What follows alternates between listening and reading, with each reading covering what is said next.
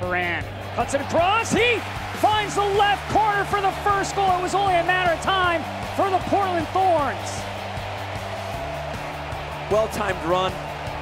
And you know Tobin Heath's going to find in the back of the net when you when you have time like that, space like that.